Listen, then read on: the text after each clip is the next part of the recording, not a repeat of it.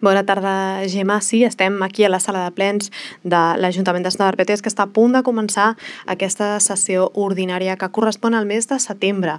En l'ordre del dia d'avui està previst que es modifiquin les ordenances fiscals al proper exercici. El Pla Local de Diversitat Afectiva Sexual i de Gènere per al període 2022-2026, l'actualització del protocol d'actuació contra la violència sexual en els espais d'oci de Santa Perpètua i el Pla d'Energia Sostenible 2020. Aquests seran els principals punts de l'ordre del dia que tot eh, eh, just està a punt de començar. Ja sentim de fons a l'alcaldessa Isabel Garcia que dona inici a aquest ple. L'escoltem. la sessió del plenari de la corporació del mes de setembre, després de les merescudes, merescudes vacances, i comencem amb alcaldia amb l'aprovació de l'acte de la sessió ordinària 7 barra 2022. Alguna qüestió respecte a l'acte? Doncs ho donem per aprovada. El següent punt és donar compte de resolucions i decrets. Alguna qüestió? Doncs passem a la Comissió Informativa de Presidència i Serveis Generals i el primer punt de l'ordre del dia és l'aprovació del calendari laboral del personal de l'Ajuntament de Santa Perpètua de Mogoda per l'any 2023. Té la paraula el ponent. Moltes gràcies, senyora alcaldessa, veïns i veïnes, regidors, regidores. Eh, estem davant del calendari laboral, calendari que afecta el personal de l'Ajuntament de Santa Perpètua, inclou les 14 festes, les, dos, les 12 festes eh, estatals i autonòmiques, més les dues festes locals i la jornada laboral anual que, que els treballadors i les treballadores, funcionàries funcionaris de l'Ajuntament realitzaran l'any 2023. Alguna qüestió respecte a les festes? Doncs passem al punt a votació. Vots en contra? Abstencions? Donem el punt per aprovat de manera unànima. Passem al segon punt, que és la modificació de la relació de llocs de treball de l'Ajuntament de Santa Perpètua de Mogoda per l'exercici 2022. Té la paraula el ponent. Gràcies. Gràcies novament. Exclusivament és eh, pel que fa a un canvi de la naturalesa del lloc de treball de cap d'administració i gestió de, de l'àrea de territori, en aquest cas territori de desenvolupament local, estava conceptuada inicialment com a eh, vinculació laboral per raó de les funcions i les tasques que realitza, eh, hem considerat que el més correcte és que la tasca es realitzi amb una naturalesa de caràcter funcionarial i exclusivament és aquesta l'alteració. Paraules? Doncs passem al punt a votació. Vots en contra? Abstencions?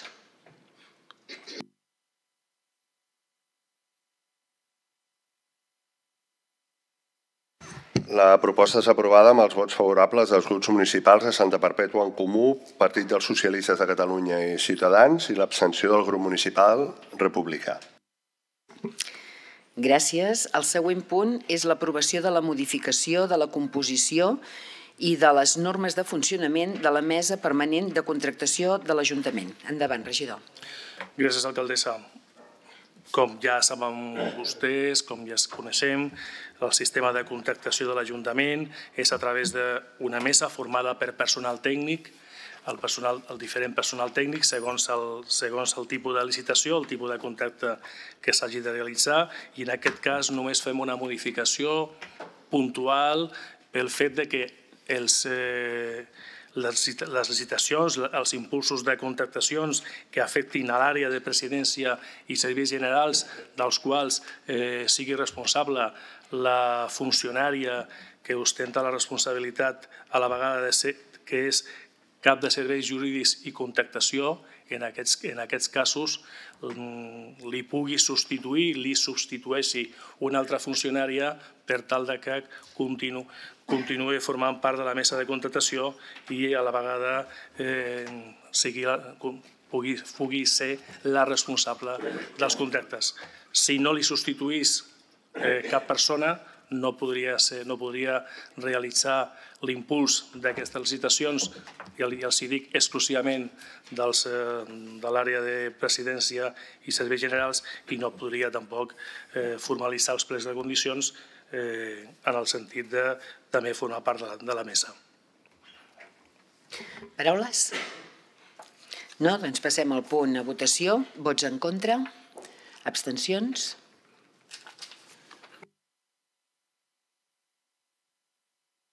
La proposta és aprovada amb els vots favorables dels grups de Santa Perpètua en Comú, Partit dels Socialistes de Catalunya i Grup Municipal Republicà i l'abstenció del Grup Municipal de Ciutadans. El següent punt és l'aprovació de l'expedient de modificació de crèdit número 27 barra 2022. Endavant, regidor. Moltes gràcies, senyora alcaldessa. És la modificació número 27 del pressupost d'enguany, la modificació 27. És una, és una modificació pressupostària eh, que en altes i baixes de crèdits de, eh, afecta a 1.460.382 amb 51 euros. Estem davant d'una reordenació interna de, de les inversions per adequar les inversions al, al, per una banda els increments de despeses produïts eh, per la situació de crisi que vivim, l'increment de, eh, de la despesa, en el sent, eh, desgraciadament les obres, com moltes altres coses, eh, ens estan costant entre un 20 i un 30% més del que s'havia previst eh, inicialment, del que s'havia previst inclús abans de l'estiu i això ens està obligant a fer algunes modificacions. D'altra banda, també és una modificació important de cara al parc d'habitatges mm, que, seran, que són i que seran propietat de l'Ajuntament. La Generalitat de Catalunya permet als ajuntaments, a les administracions, permet que mm, per la via del tanteig i del retracte amb una opció preferent puguem comprar habitatge. En aquest cas eh, tenim l'opció, la possibilitat d'adquirir tres habitatges. Una part d'aquesta adquisició té una subvenció de la Diputació de Barcelona alhora que també, en el cas de que s'hagi de fer alguna reforma, també pot tenir una subvenció de la Diputació de Barcelona.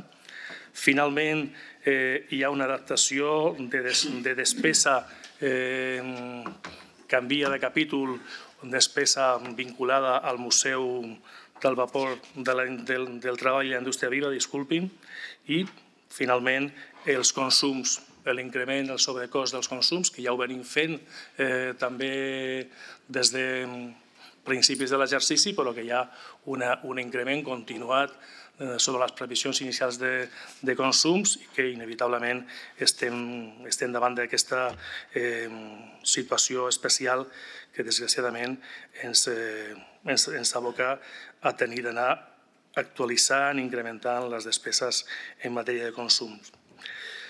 És, un, és, una, és una modificació important, si més no, però també és un exercici eh, de molta actuació eh, per part de l'Ajuntament. Venim d'una situació de crisi sanitària i crisi econòmica eh, contundent. És una legislatura marcada, desgraciadament, per una situació de crisi, però la, la vida no s'atura, la ciutat no s'atura, les persones no s'aturem i hem de fer eh, aquest esforç d'adequar el pressupost, perquè el pressupost dels ajuntaments són un element viu. Hi ha gent que diu que, que, que si es fan poques modificacions millor i altres entenem que el pressupost és un element viu i s'ha d'adaptar a les circumstàncies de cada moment. És aquesta la sort d'aquest Ajuntament, que, que actua, que es mou, que treballa, que dinamitza i que, i que efectivament eh, ens permet en aquest sentit pues, continuar eh, fent que els projectes siguin una realitat. És, la, és el que fem des de l'equip de govern. Vam començar la legislatura amb un pla de mandat que establia eh, inversions vora 13 milions d'euros, i acabarem la legislatura amb una gestió d'inversions sobre prop de 20 milions d'euros. És important el que, hem fet en do, el que estem fent en dos anys, el que, si em permeten, crec que el conjunt de la corporació, no arrogaré protagonisme a l'equip de govern, crec que el conjunt de la corporació. No? És important el que estem fent en aquesta legislatura tan complicada, tan difícil, que ha tingut una situació greu els primers dos anys de legislatura i que estem en una situació dura, eh, complicada en el final de la legislatura i estem treballant eh, amb força i de valent i en aquest sentit els vull agrair eh, una vegada més la seva, la seva capacitat, la seva capacitat d'entendre eh, el que fem i com ho fem. Gràcies, regidor. Qüestions? Paraules? Doncs passem al punt aprovació. Vots en contra? Abstencions? La proposta és aprovada amb els vots favorables dels grups municipals de Santa Perpètua en Comú i del Partit dels Socialistes de Catalunya i les abstencions del grup municipal republicà i del grup municipal de Ciutadans. Molt bé, passem al punt 2.5, que és l'aprovació de modificació d'ordenances fiscals pel 2023. Endavant. Gràcies, senyora alcaldessa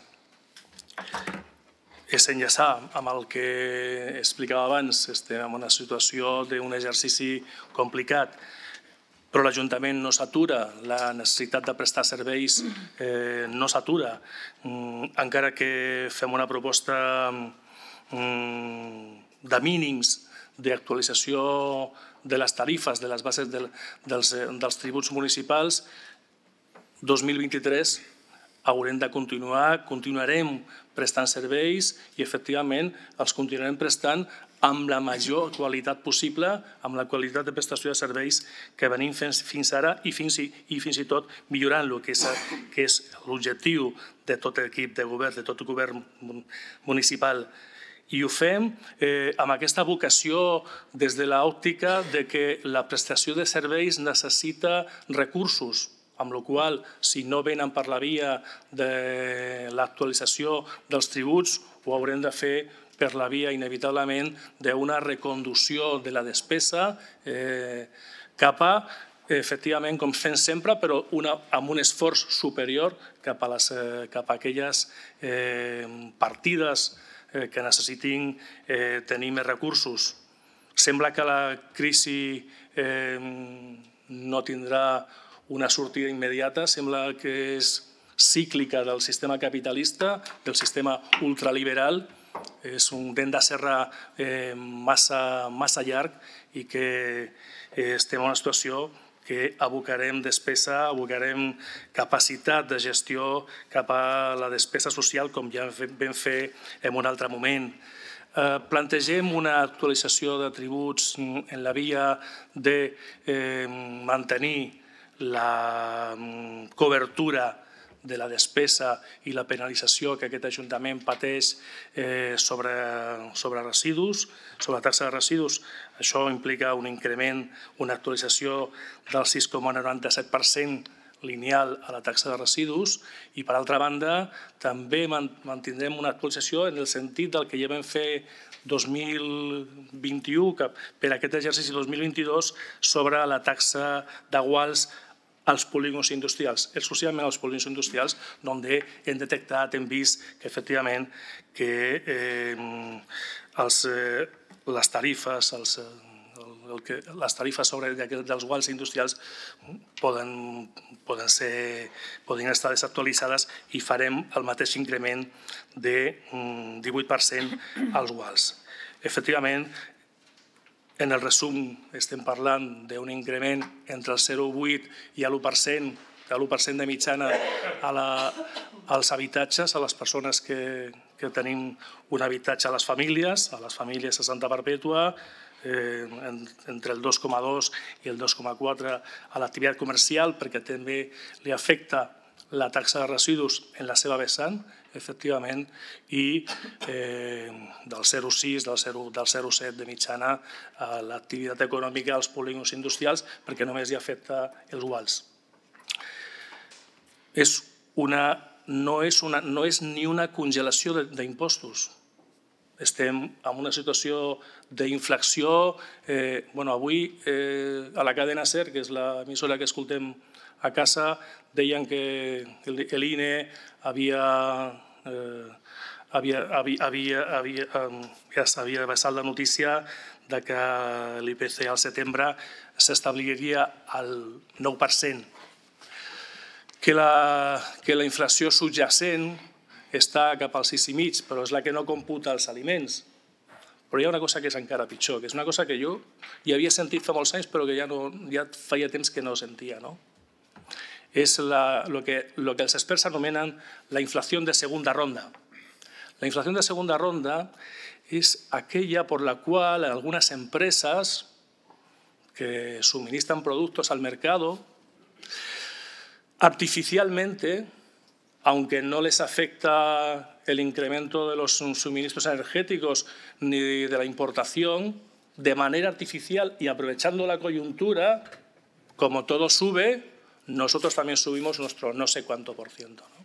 I això també està matxacant, està matxacant els preus, desgraciadament, també està matxacant els preus, desgraciadament, però aquest Ajuntament ha decidit, amb bon criteri, una congelació tributària de facto perquè un increment dels tributs eh, en vora el, 8, el 0,8% és una congelació de facto amb una situació d'IPC bueno, eh, que esperem, que sembla que està controlada, però també per una raó clara.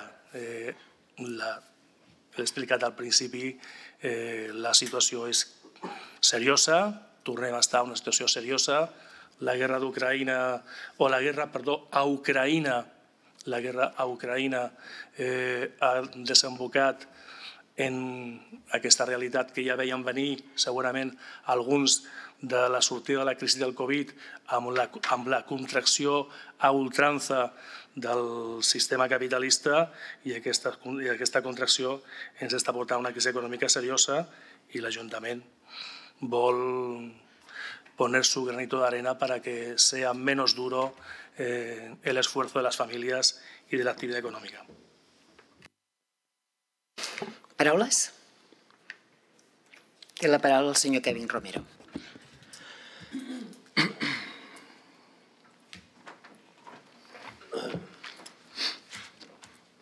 Gracias, alcaldesa.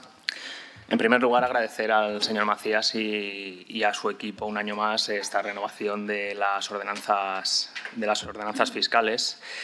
Pero mire, señor Macías, eh, para, para, la modificación de las ordenanzas fiscales de 2020 nosotros le pedimos bajar, bajar impuestos y, usted no lo hizo, sino que los subió en aquel primer año de mandato. Para las ordenanzas fiscales de 2021 le pedimos también bajar impuestos eh, y no lo hizo, sino que los subió para las ordenanzas fiscales de 2022 le pedimos bajar impuestos y no lo hizo, lo subió. Y ahora para este 2023 no nos sorprende eh, con esta congelación, pero le seguimos pidiendo bajar impuestos. Para ustedes al final nunca, nunca, es buen momento, nunca es buen momento para aliviar la carga fiscal a las familias y a los comercios de nuestro municipio. En 2019, cuando discutíamos las ordenanzas de 2020, cuando la economía iba relativamente bien dentro de lo que es nuestro país, pues ah, no era el momento, nos dijo usted. Y, recuerdo que subió usted absolutamente todas las tasas y, todos los impuestos aquel año, mm, incluso el del cementerio, que después me lo estuvo recordando durante varios plenos, que se lo eché en cara. Evidentemente nadie sabía en aquel momento que al año siguiente iba a venir la pandemia, lo ha nombrado usted durante, durante, su, durante su discurso, y pese a y pese a estar inmersos en aquella situación eh, nunca vista en 2020, con mucha gente pasándolo francamente mal y, con los esfuerzos que hizo este, este ayuntamiento también para, para, no dejar, para no dejar a nadie por el camino, tampoco consideraron ustedes que fuese el momento para bajar tasas e impuestos, sino que lo subieron. Menos, pero lo subieron. El año pasado, cuando nos dirigíamos de cabeza a, esta crisis, que no es nueva, que ya venía, ya, ya se estaba preparando antes de la invasión de Rusia eh, a Ucrania. en ese momento tampoco fue el momento de bajar los impuestos, sino que los subió usted según, según el IPC de agosto de aquel año, del año pasado, que creo recordar que era el 3,1. Un poco lo mismo que estaba ahora usted comentando de esas empresas que ahora, que ahora suben, suben los precios de sus productos sin necesidad, pues un poquito hicimos lo mismo aquí en este ayuntamiento el año pasado, subimos el 3,1% porque, porque en agosto el IPC era el 3,1. Ahora... Eh, Ahora estamos viéndole las orejas al lobo, lo ha comentado usted. Estamos con la cesta de la compra más cara de la historia, con los carburantes por las nubes, con la factura de la luz disparada como nunca lo habíamos visto antes. Y con el precio del gas cogiendo, cogiendo para ponerse por las nubes y a niveles jamás vistos ni imaginados en cuanto tengamos la necesidad de encender las calefacciones. Mm, y este gobierno, su gobierno, decide que no es el momento tampoco de bajar impuestos ni tasas, sino que ahora vamos a congelarlas eh, porque no es el momento. Entonces yo le pregunto, señor Macías, ¿cuándo es el momento de bajar impuestos y tasas? ¿Cuándo es el momento para ustedes de aliviar la carga fiscal que tienen que soportar las familias de nuestro municipio? Y, yo me pregunto que si encontrarán ustedes algún año, algún año ese momento, porque no parece ser que no, que nunca, independientemente de la, de la situación económica en la que, en la que nos encontremos.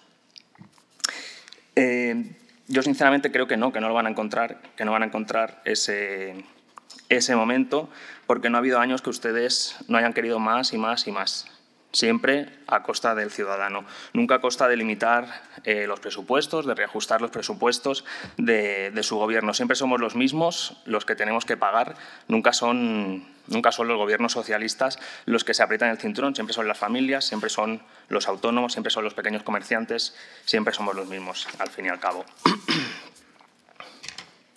Porque mm, para ustedes la culpa siempre es del ciudadano. Por eso cargan, eso sí, este año tampoco no, hay manera de, no, tener que subir la tasa de, basuras, de recogida de residuos. Este año también, como no podía ser de otra manera, esa parte del canon de residuos por separar mal, porque el ciudadano lo hace mal, lo hacemos mal y tenemos que pagar más. Esa es su lógica, pero es que llevan ustedes gobernando este ayuntamiento más de 40 años.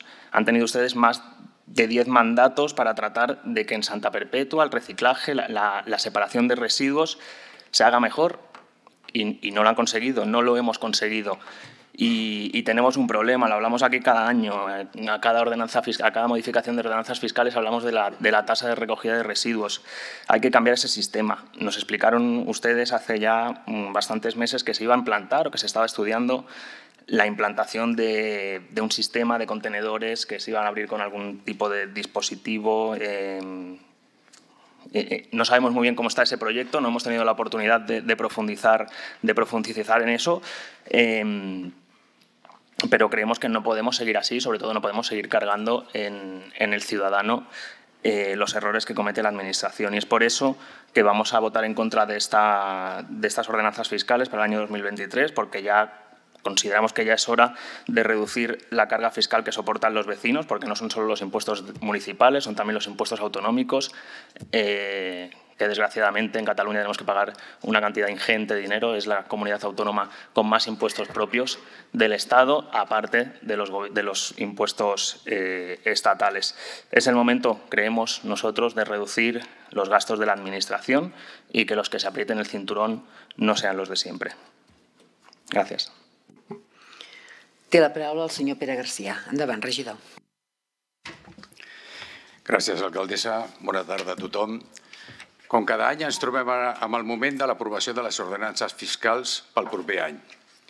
L'habitual amb aquest equip de govern ha estat sempre estudiar com a referència l'IPC d'agost per valorar com s'han d'articular els impostos.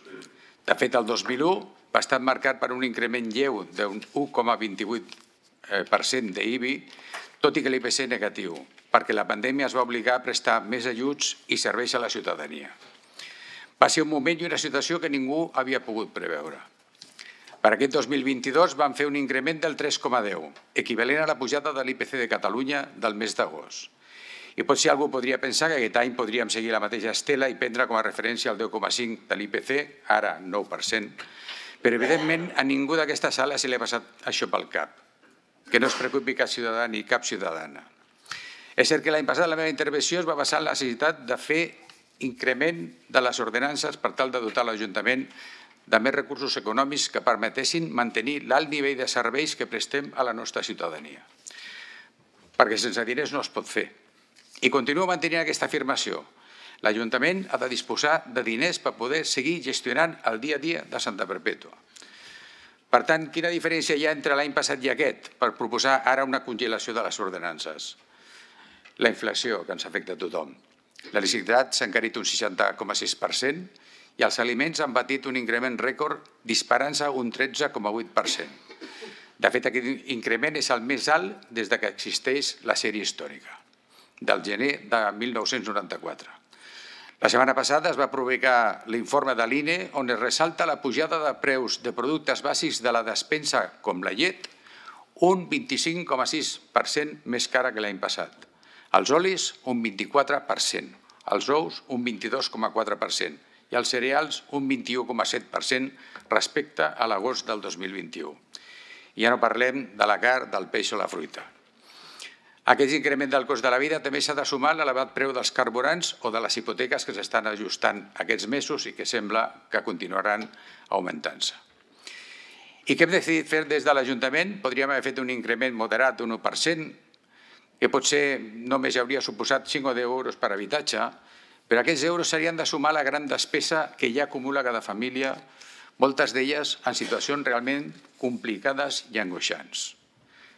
És cert que l'Ajuntament també ha de fer front a l'increment de preus de la despesa de subministres i en serveis, però com tothom, a nosaltres també ens toca ajustar-nos al cinturó per gestionar encara millor els recursos de què disposem sense deixar ningú enrere. I aquest ningú enrere ja no són només famílies usuàries de serveis socials. També són famílies amb dos sous que no arriben a final de mes i que veuen cada dia més complicat fer front a les despeses de la llar i de l'alimentació. Per això, el nostre llei suposa un granet de sorra en no incrementar més la seva preocupació. I sabem que sí que hi ha persones que podien fer front a un increment dels impostos perquè tenen recursos econòmics de sobre, però ells i les socialistes creiem que no poden golpejar encara més a qui ja està ofegat per tal de que uns quants s'hi paguen. Santa Perpètua mereix que gestionin per a la majoria de la seva ciutadania i això és el que estem fent avui. A banda està la taxa de gestió de residus, que sí es veurà incrementada en 7,25 euros. Aquesta taxa augmenta any rere any i ho continuarà fent perquè l'Agència de Residus ens imposa una penalització del 10% per cada tona de rebuig que generem, de moment, fins 2024. Això no passa en la fracció orgànica, els envasos, el vidre, el paper i el cartó, ja que si el reciclem correctament rebem bonificació. De fet, el cost que generem per cada tona de rebuig és enorme i va en detriment de poder realitzar altres serveis que podria oferir l'Ajuntament, o potser en la congelació d'aquesta taxa, com es proposa amb la resta. Hi ha persones que encara avui no creuen en els motius mediambientals per separar correctament els residus. Doncs bé, desitgem que com a mínim s'hi entenguin els motius econòmics per fer-ho. Les eines hi són molt a prop. Els contenidors de totes les fraccions, a més dels de roba i oli, només cal utilitzar-los correctament i tots sortirem beneficiats. Moltes gràcies. Gràcies, regidor. Té la paraula el senyor Pol Altaió. Endavant, regidor. Moltes gràcies, bona tarda a tota la corporació i a la ciutadania que ens segueix, sigui a la sala o en tots els mitjans disponibles. Deixeu-me que comenci per fer una defensa de la cosa pública, perquè m'indigna segons quines coses s'han dit eh, davant de les ordenances fiscals. Eh, defensar que no es segueixi augmentant impostos a la ciutadania, però quan arribi el ple de pressupostos defensar que l'Ajuntament presta pocs serveis és totalment incoherent. I no vull fer la feina a l'equip de govern, però és que em veig amb l'obligació de defensar la cosa pública. I em veig amb l'obligació de defensar que Esquerra Republicana no està per res del món a favor del discurs que s'ha fet en aquesta sala per part del grup de Ciutadans. Mm, tinc la necessitat de fer-ho i eh, crec que és de rebut, perquè el que sí que creiem és que per poder prestar serveis des de l'administració pública es necessiten recursos públics i aquests recursos públics han de sortir d'algun lloc perquè mm, un no faci amb la màniga i li cauen. Dit això, um, no, no és una intervenció fàcil la que faig perquè crec que és la onzena vegada que jo faig un ple d'ordenances fiscals i si no és la onzena vegada, potser és la novena o la desena que repetiré exactament el mateix, però, però jo insistiré, eh, perquè així eh, ho torno a explicar i a veure si així s'entén. I, evidentment, eh, pel somriure de, de tots els regidors i regidores d'aquesta sala ja saben que els hi vaig a parlar de taxa de residus, efectivament. Els hi vaig a parlar de taxa de residus perquè Mirin, amb l'exposició que han fet els dos portaveus dels grups de govern, jo entendria que aquestes ordenances fiscals es parlés d'un augment de la pressió fiscal a la ciutadania. No, podem parlar de, de quin és aquest grau d'augment eh? i quin és el valor i quina és la quantitat, però ho entendria perquè, perquè és que estem explicant que la situació és greu per les famílies però també ho és per l'administració pública. Mm? I de la mateixa manera que reclamem a l'estat espanyol que compensi la disminució de l'ingrés de la plusvàlua o que reclamem a la Generalitat de Catalunya que pagui el que deu l'Ajuntament, també no? reclamem que la ciutadania faci les seves aportacions. Però és que no podem recolzar aquestes ordenances fiscals i els avanço que les votarem en contra. I les votarem en contra perquè ens tornem a trobar una vegada més amb el constant augment de la taxa de residus. Mirin, la seqüència és molt senzilla. Mm, crec que després de 10 vegades ho explicaré el més senzill que ho he fet cap any. Separem malament. Com que separem malament, hi ha un segon pas, que és que l'Agència de Residus de Catalunya ens multa, entre cometes, perquè ens entenguem, perquè separem malament. Això fa augmentar el cost d'aquesta recollida i tractament dels residus. I el govern carrega sobre la ciutadania aquest sobrecost, perquè ens entenguem, de la recollida i tractament de residus. I fins aquí. Perquè a partir d'aquí arriba l'immobilisme absolut de l'equip de govern. Perquè no han mogut ni un sol centímetre per canviar el model de recollida de residus. I si no canviem el model de recollida de residus, és totalment absurd i incoherent que seguim carregant sobre la ciutadania una cosa que sí que és responsabilitat de la ciutadania, però no només responsabilitat de la ciutadania. I vaig al que deia el portaveu del Partit Socialista. Absolutament d'acord amb el relat que ha fet sobre la taxa de residus, però és que es deixa una part important, es queda mitges, que és la responsabilitat del govern de canviar alguna cosa sobre això. Si no arribem al percentatge que ens marca la llei i això ens, sobrecost, ens genera un sobrecost en aquest servei, per què aquest equip de govern no ha fet res al respecte? I no dic aquest any, és que dic des de fa 10 anys que estic fent el mateix discurs. Per tant, mentre l'equip de govern segueixi augmentant la taxa de residus sobre la ciutadania i no faci res més, nosaltres no li podem donar suport. I vull que quedi clar que el motiu no és l'augment de la taxa de residus. Estem absolutament d'acord en augmentar la taxa de residus perquè la ciutadania ha de ser conscient del que suposa la recollida i el tractament de residus. Però saben què passa? Que si ens haguéssim fet cas i estiguéssim aplicant el model de recollida que els estem demanant des de fa anys, molts anys, podríem bonificar aquella gent que s'apaga correctament. I, per tant, els que ho fan bé no estarien pagant la taxa que avui s'aprova en aquest plenari. I això ho he dit avui i ho he dit milers de vegades en aquesta sala, fora d'aquesta sala, i ho seguiré dient, i ho seguirem dient com a Esquerra Republicana cada vegada que tinguem l'oportunitat. Prou de seguir la inèrcia, si us plau, un canvi en el model de gestió de residus i aleshores tindran el nostre suport. Gràcies, regidors. Té la paraula el ponent.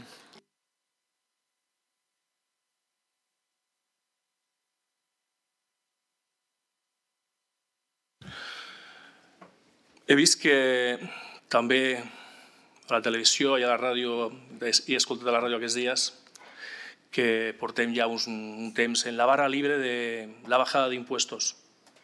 Estamos en la barra libre. El populismo hace estragos, ¿eh?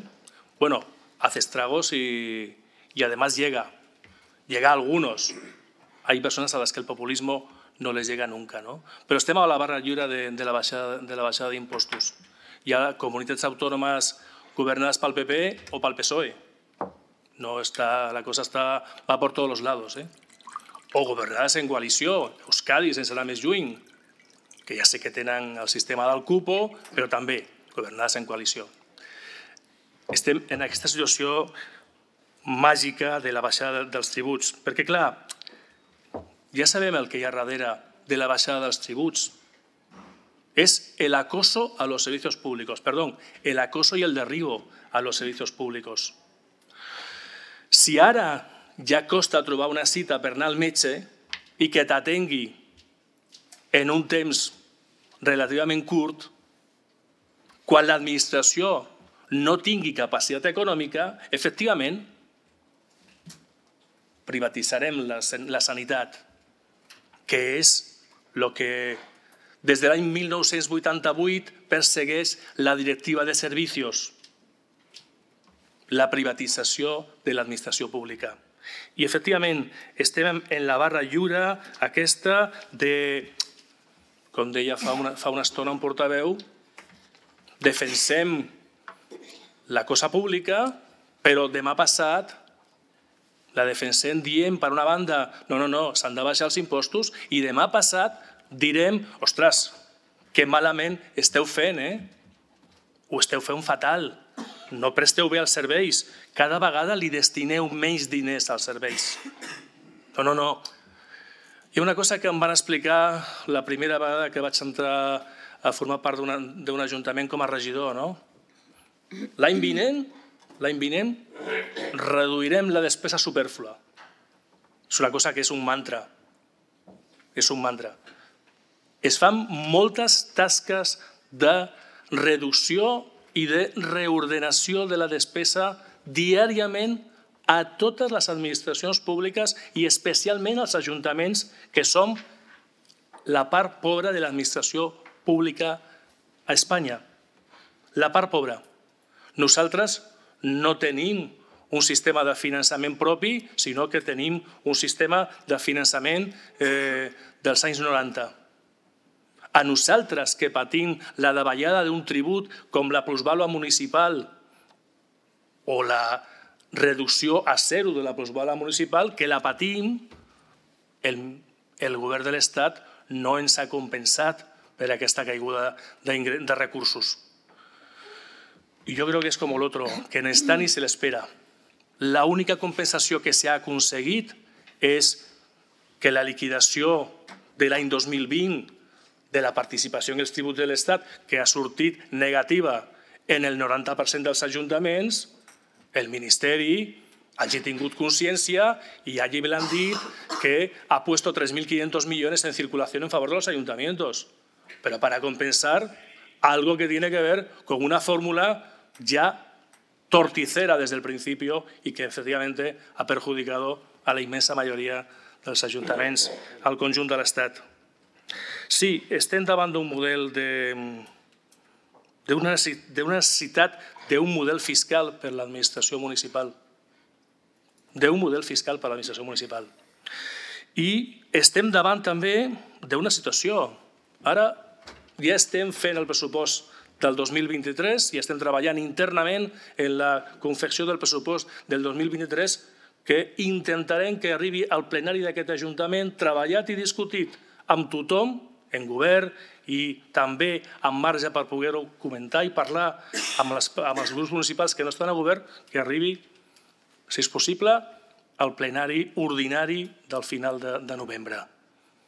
I estic segur que dels que demanen reducció de la, de la capacitat econòmica de l'Ajuntament vindran alguns d'ells a dir ostres, hem d'incrementar la despesa. I no incrementar la despesa on ja sabem que ho hem de fer perquè hi ha la sensibilitat social i ciutadana de, que s'ha de, de, de reforçar determinades, determinats conceptes. No, no, no.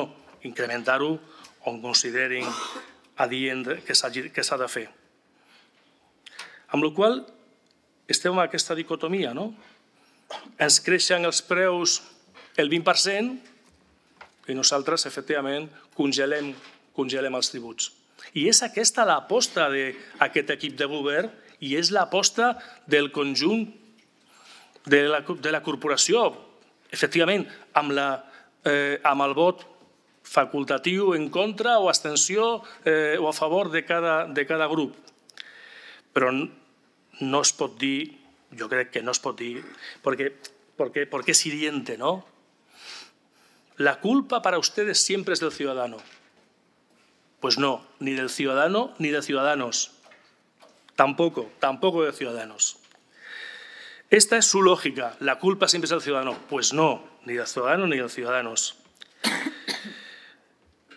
I no es pot dir, i no es pot dir, jo crec que no es pot dir que els governs municipals no fan res, que estem en la inacció. Perquè quan, quan parlem de models de gestió de residus, parlem obertament de residus, també ens trobem amb ajuntaments que tenen models de gestió de residus que els agraden a alguns eh, grups polítics que la taxa de residus no és més baixa que la de Santa Perpètua. Nosaltres proposem una tassa de 104 euros l'any 2022. Hi ha municipis amb un sistema de gestió de residus que els encanta alguns grups i que tenen la taxa en els 130 euros o en els 160 aproximadament, per aquells sistemes de bonificacions que després seran el que siguin, però, però la taxa està aquí i després, eh, i després ves, ves fent. No? Efectivament, jo estic d'acord, la taxa de residus continuarà pujant. Quan ho, fe, quan ho fem bé, com ens agradaria a tots fer-ho, segurament pujarà menys, però la gestió dels residus cada vegada és, eh, és més complicada. Els municipis eh, de la, de la, de la, de la, de la entitat metropolitana ho tenen possiblement més fàcil, no? Eh, el recàrrec no el giren directament ells,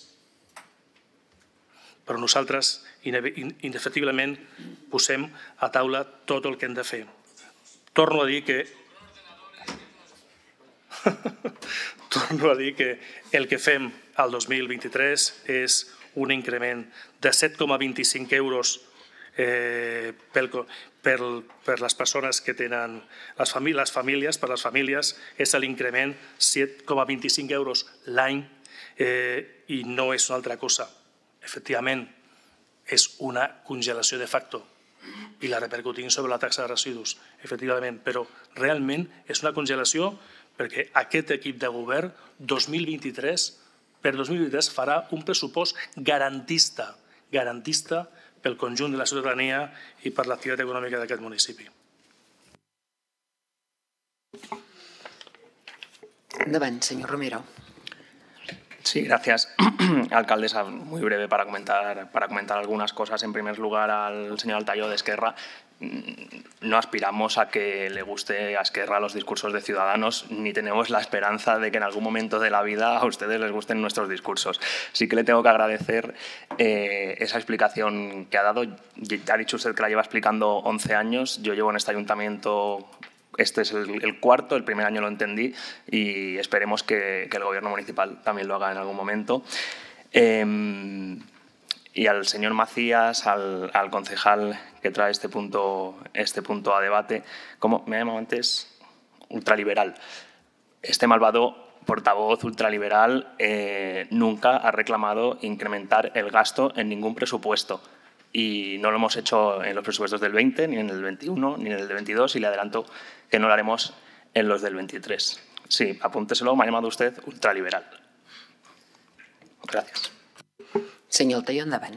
Sí, gràcies. Només per fer una aclaració i, i una aportació més que abans me n'he oblidat i, i la faig ara. L'aclariment eh, és que, no sé si és que el regidor no m'ha escoltat, però jo he dit clarament que em sembla bé que la taxa de residus sigui elevada. És, ho he explicat he dit que em sembla perfecte que la taxa de residus sigui elevada, inclús més elevada del que està proposant a les ordenances fiscals del 2023 aquest equip de govern. Sempre i quan hi hagi la segona part, que és un model de recollida que permeti bonificar aquella gent que ho fa bé i els que no, que paguin la taxa, tota, al 100%, i ben cara. Ara, aquella gent que ho està fent bé, bonifiquem-la. Però per això necessitem canviar el model, perquè a dia d'avui és impossible bonificar la gent que ho fa bé. I, I ja deixo aquí aquest tema perquè crec que hi he sigut prou pesat i ho he dit masses vegades en aquest plenari i fora d'aquest plenari. Prou, prometo avui no parlar més de la taxa de residus. I la segona cosa, és l'aportació que, que volíem fer, um, volíem demanar a l'equip de govern que no es limiti a publicar les ordenances fiscals que les faci comprensibles, la diferència entre publicar i ser transparent, que les faci comprensibles, en, amb una cosa molt senzilla, és tan fàcil com fer unes infografies i penjar-les a la pàgina web amb aquelles bonificacions que es permeten a cada ordenança fiscal. Infografies clares, imatges, pum, tres dibuixets, mm, quatre dates i, i, i la gent ho entendrà molt millor que si ha d'agafar el patracol de les ordenances fiscals, llegir-se-les i entendre quines possibles bonificacions pot demanar o se li poden aplicar en els seus impostos. Per tant, no només ens limitem a publicar, us demanem que anem una mica més enllà i que fem la informació comprensible per tota la ciutadania i no ens limitem només a publicar-la. Gràcies. Gràcies, regidor. Té la paraula el senyor Pere Garcia. Amb el tema de residus volia fer constar un tema que crec que és important. Estem estudiant i hem fet proves pilot ja fa un temps per modificar el sistema de residus, que igual no és el que vostès volen, i ho entenem perfectament, però lògicament aquí havien d'arribar uns ajuts de part de la Generalitat que de mig milió d'euros, que és el màxim que otorguen als ajuntaments, que ha arribat ara fa pocs dies. Eh? Gràcies a, a la gestió que s'ha fet des d'aquest Ajuntament perquè aquests, eh, aquests, eh, aquest otorgament arribés. No? O sigui que no estem parats amb el tema del canvi de, de la forma de, de recollida de residus, sinó que hem estat parats per un tema econòmic de, de la Generalitat que no ens ha portat els ajuts que havia promès que faria. Ara ja els tenim, començarem a posar en pràctica el que ja havíem fet les proves, que lògicament vam fer proves per veure, com a totes les proves, no és fàcil canviar un sistema, has de fer proves i veus les bonances i les mancances. No? Bueno, doncs ara ja sabem per on hem de tirar. Ja dic, igual no és el sistema que vostès eh, desitjarien, però sí que fem un sistema que s'està aplicant a, a molts altres llocs i que està sent positiu, igual que el que vostès proposen, i en alguns casos hi ha alguna població eh, més positius encara. I quedo aquí. Té la paraula el ponent. Endavant. Ni el sistema ni les formes ni el sistema ni les formes. Eh, si li he dit ultraliberal, que no em consta que li hagi dit ultraliberal, directament a vostè, eh? jo, mm, si li hagués dit ultraliberal, té vostè aquesta facilitat d'arrogar-se eh, calificativos que a lo mejor no han salido expresamente de mi boca. Pero bueno, si se siente ultraliberal ya es un tema, un tema que ustedes de, deberían de analizar. Crec que aquest equip de govern, per resumir, mm, està davant d'una congelació dels tributs municipals amb un increment que afecta a la taxa de residus però que no afecta a cap altre tribut, ni a l'IBI, ni als vehicles, ni, ni a l'aigua, ni als guals urbans. Eh, sí que afecta als UALs, als polígons industrials, però per, aquesta, però per aquest criteri d'actualització tarifari, eh, d'actualització de, posar, de posada al dia dels UALs de l'activitat econòmica, que, que aquest increment estarà eh, al voltant de l'1% per l'any eh, per l'any 2023, que ni és molt ni és poc, és el que és, és el que és, que garantint la prestació dels serveis també a 2023, encara que no hi hagi l'ingrés necessari per donar-li continuïtat, el garantim perquè efectivament ja farem la reconducció necessària als, eh, als pressupostos, que efectivament algunes partides del pressupost a lo millor s'han de ressentir, perquè també haurem d'abocar capacitat econòmica a altres conceptes de despesa vinculats a l'escut social, efectivament, a l'escut social entès eh, en paraules majúscules, ja venim d'aquesta capacitat de generar escut social des del, des de l'Ajuntament de Santa Perpètua i continuarem eh, garantint escut social i també nosaltres som un ajuntament amb una posició central i volem mantenir el nostre lideratge com a municipi en aquesta posició central. Inevitablement, els impostos pugen, han de pujar, pugen, pugen les despeses, pugen els costos de les coses. No és agradable venir a un plenari a pujar impostos, però pagar impostos també és estimar Catalunya, pagar impostos també és estimar Santa Perpètua. I crec que eh, estem d'acord en quina és la proposta i per què la fem. I no perquè sigui l'últim any de la legislatura com algú, com algú ha apuntat eh, en aquest moment. Sense culpar ningú, sense culpar ningú. Nosaltres eh, gestionem els serveis municipals, els gestionem en garantia, els gestionem cuidant la qualitat dels, dels serveis i en aquest sentit continuem treballant també eh, 2023 quan s'apliquin les noves ordenances fiscals. I un apunt final. Jo crec que es nota també eh, que en la comunicació de les, eh, de les accions, de les, de les propostes, dels projectes, eh, cuidem que arribi al conjunt de la ciutadania, inevitablement, eh, de la mateixa manera farem el mateix amb les ordenances fiscals i farem el mateix amb el pressupost. Farem el mateix amb el pressupost perquè, com deia el portaveu fa una estona, només s'exposi a la vista, sinó que també es pugui entendre i es pugui eh, efectivament obrir al conjunt de les persones que no eh, utilitzen normalment la mateixa terminologia. Molt bé, doncs gràcies a tots els ponents que han intervingut i abans, com faig sempre, amb qüestions tan transcendentals com són aquest punt, l'aprovació de les ordenances fiscals. Deixi'm que, abans de passar la votació i escoltades les seves aportacions i, opi i opinions per part del ponent i dels diferents grups municipals, permet permeti'm que ressalti algunes de les característiques que conformen la proposta de les ordenances fiscals 2023 i el marc econòmic en el que ens presentem. En primer lloc, vull destacar que aquestes són les quartes ordenances fiscals que presentem en aquest mandat municipal. Dues d'elles, com també ha sortit ja en aquest plenari, afectades per la Covid eh, amb les conseqüències econòmiques i socials que evidentment hem patit totes i tots. En aquesta ocasió, les ordenances fiscals del 2023 estaran afectades pels efectes sobre les famílies de la inflació desbocada com la que estem patint en aquests moments, que ha situat, com ja s'ha comentat, a l'agost el 10,5 en gran part per l'increment desmesurat també de l'energia i de l'alimentació. Aquest mateix matí, i ho ha comentat també el ponent, han anunciat que l'IPC avançat del mes de setembre se situa en un 9%, un punt i mig menys que el mes d'agost. S'haurà de confirmar, però, en els propers dies, però sembla que la tendència és a la baixa.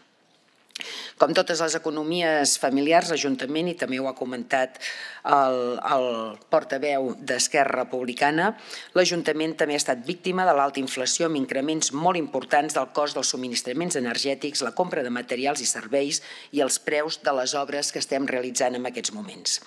D'altra banda, les dades de la recuperació econòmica encara són positives, en creixement econòmic i en creació d'ocupació estable, però no sabem quin serà l'impacte de la inflació en els propers mesos. Un altre element important és que comencem a conèixer les comencem a conèixer les convocatòries dels fons europeus als que l'Ajuntament de Santa Perpètua ja ha començat a presentar un bon nombre de projectes. Davant d'aquesta situació, vull destacar que el principal objectiu de l'equip de govern a l'hora de presentar la proposta d'ordenances fiscals pel 2023 és, com també ja s'ha comentat, fer-li més fàcil la vida a les famílies i assegurar un nivell d'ingressos municipals suficients per fer front a la crisi econòmica i social.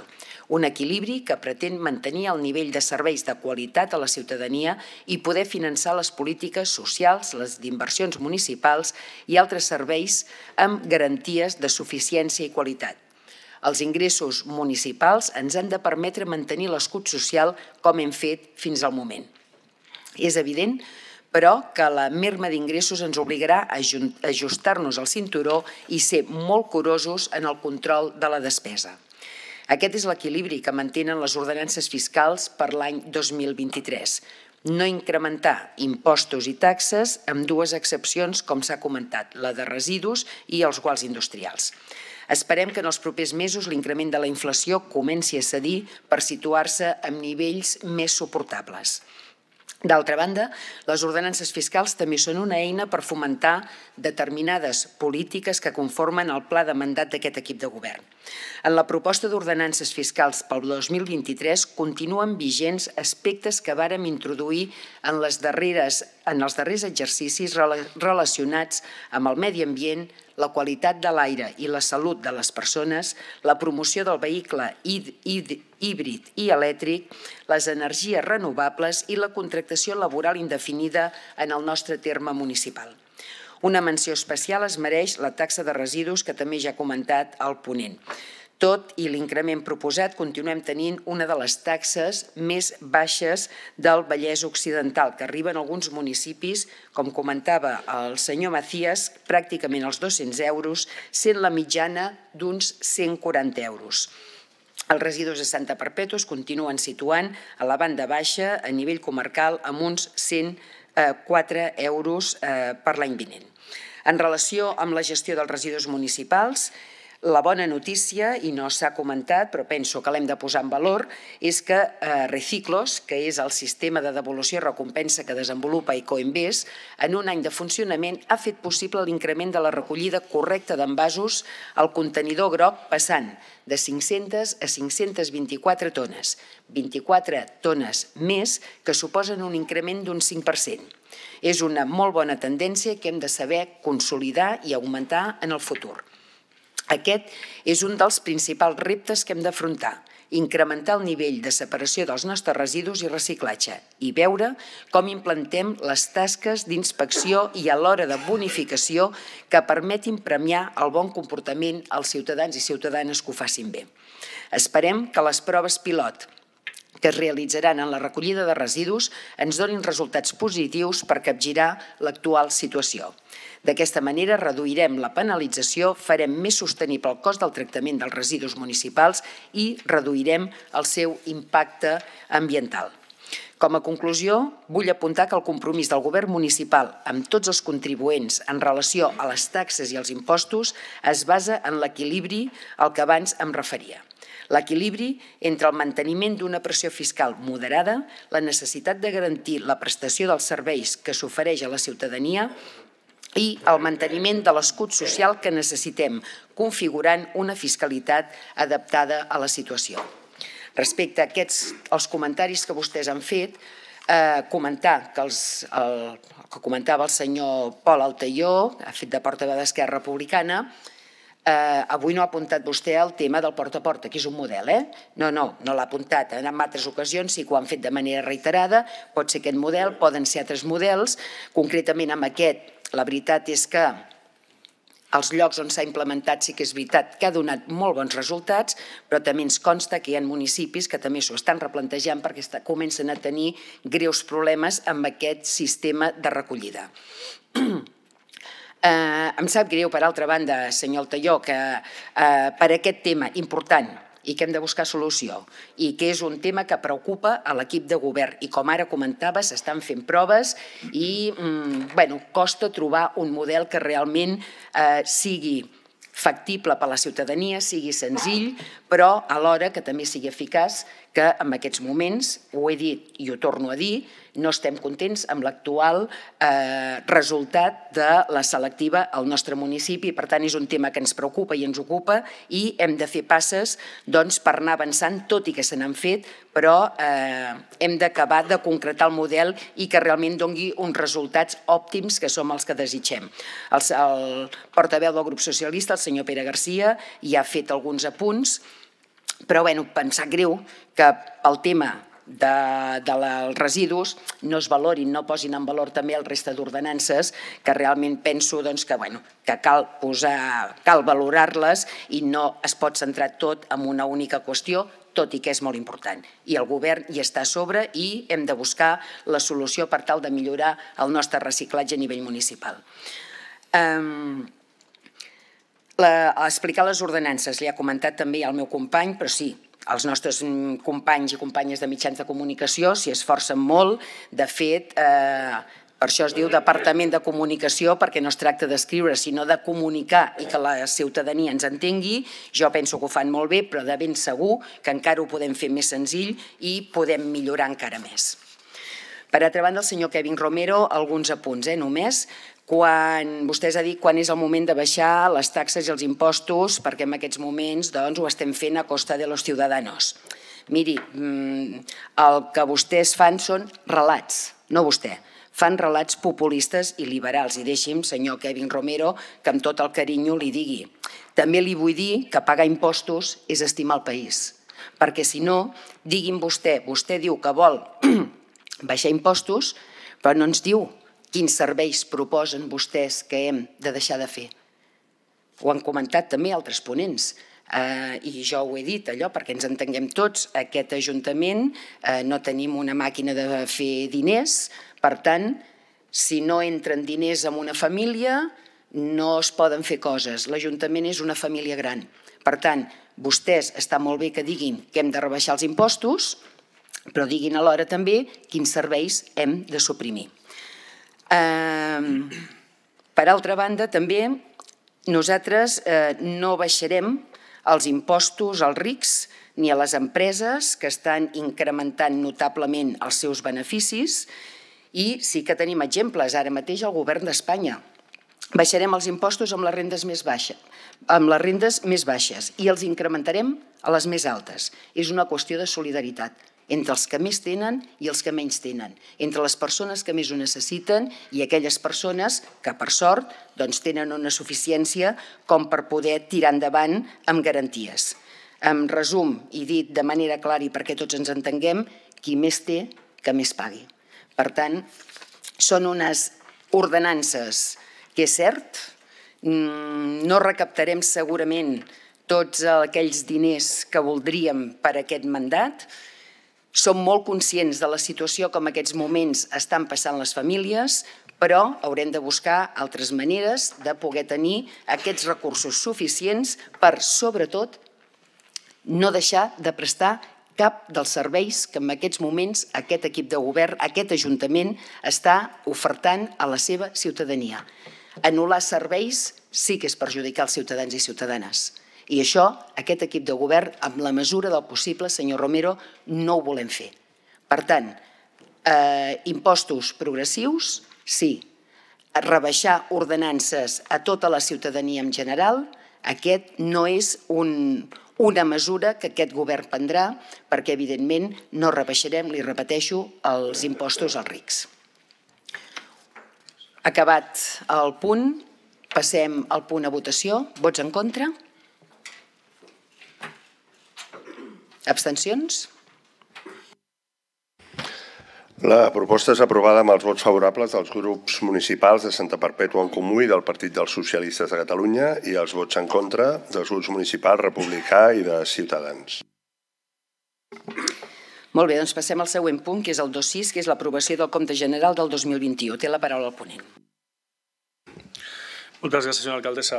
Estem davant d'una proposta que té a veure amb l'aprovació dels comptes d'aquest Ajuntament, eh, proposta que es fa any rere any. La Comissió Especial de Comptes es va reunir el dia 20 de juliol del 2022, va emetre informe favorable a l'expedient de l'aprovació dels comptes de l'Ajuntament, de l'entitat, dels comptes de Mogó de Serveis, Societat Anònima Municipal i també dels comptes del Consorci de Can Filuà.